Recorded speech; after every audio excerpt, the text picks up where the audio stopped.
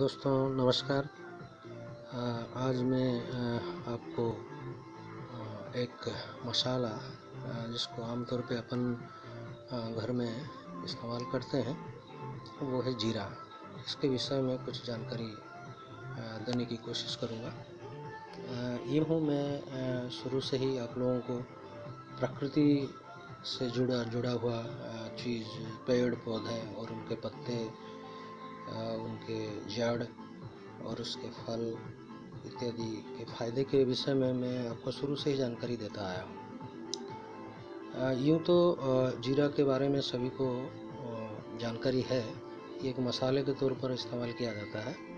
लेकिन कुछ ख़ास बातें हैं जिसको मैं आपके समक्ष रखना चाहूँगा। वो ये है कि आमतौर पे 25-30 साल के बाद हमारे शरीर के जो ग्रोथ है, वो ग्रोथ रेट कम हो जाते हैं। और हमारे शरीर का मुख्य जो हिस्सा होता है, वो है हमारे हड्डी।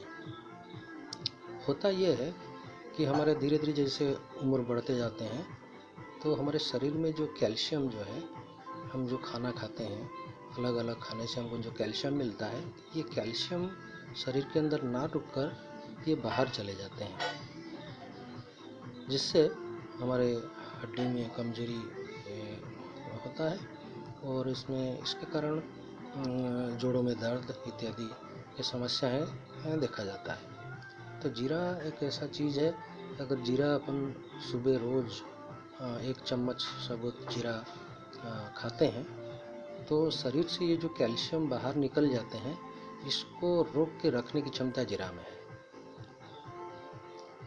दूसरी बात है अगर आपको लगातार जोड़ों में दर्द होता है तो इसमें मेथी अजवाइन और जीरा सौंफ को बराबर मात्रा में पीस कर उसका चूर्ण को आप रोज़ पानी के साथ लें तो जोड़ों के दर्द आपके ख़त्म हो जाएँगे।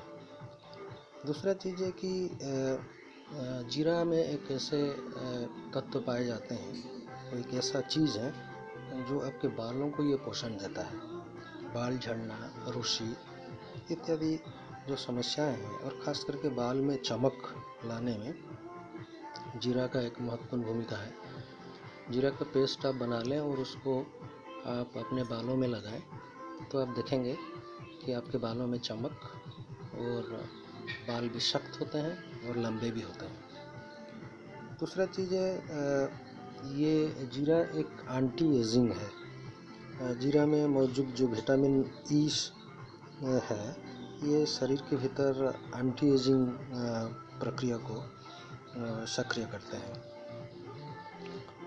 तो अगर आप रोज़ जीरा का सेवन करें तो आपके मुँह में, जो जो चर्म है, इसमें झुरियाँ पड़ना भी बंद हो जाते हैं। सवाल ये है कि आप इसको सेवन कैसे करें?